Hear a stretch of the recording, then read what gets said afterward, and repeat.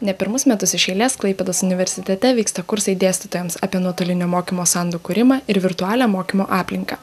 Mokymai siekiama užtikrinti aukštesnę tiekimo paslaugų ir studijų kokybę, pasitelkiant informacinės technologijas.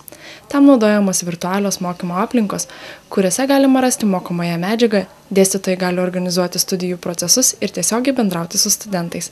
Virtualios mokymo aplinkos inžinierė Natalija Juščenko, bendraudama su laidos universitetai LT atstovais, pasidalino ateities planais. Gali būti pradėti nuotoliniai mokymai, nuotolinės studijos gali būti pradėtos.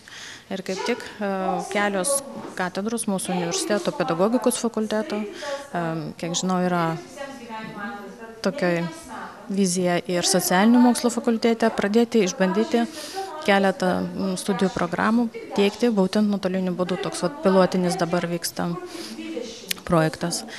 Tokia programa susilaukia didelio studentų dėmesio. Tikimasi dar plačiau patobulinti šią sferą ir ateityje teikti daugiau nuotolinių studijų paslaugų.